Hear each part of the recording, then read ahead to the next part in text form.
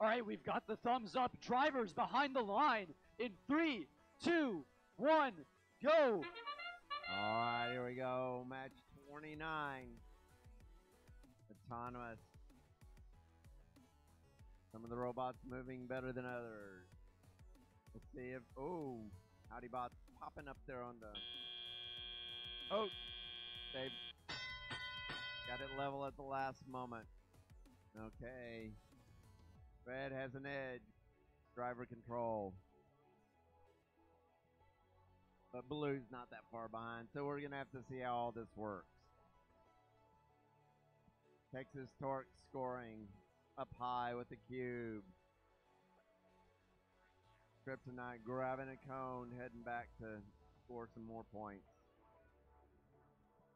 Kryptonite on a high pole. Howdy Bots on a high pole, I think. Texas Torque on a high pole.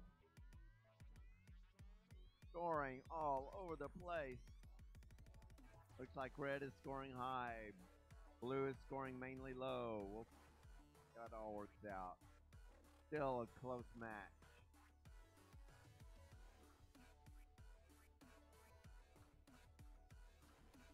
Uh, Kryptonite grabbing another cone, heading back, trying to score another cone on a pole.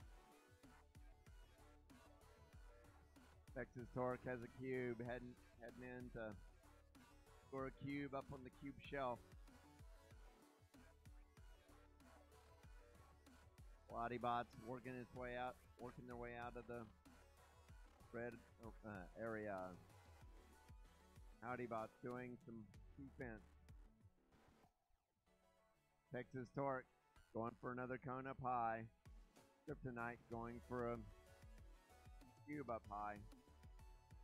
Kryptonite pops it up there. Blues working on the high level now, trying to get it filled up. Blues ahead. It's the end game. Let's see how they do it balancing. Blue, two of them are trying, preparing to balance. Red.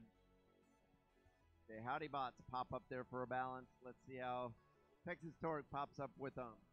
Blue, we have two red, two blue robots balanced, two red robots balanced with, and that's how it ends up.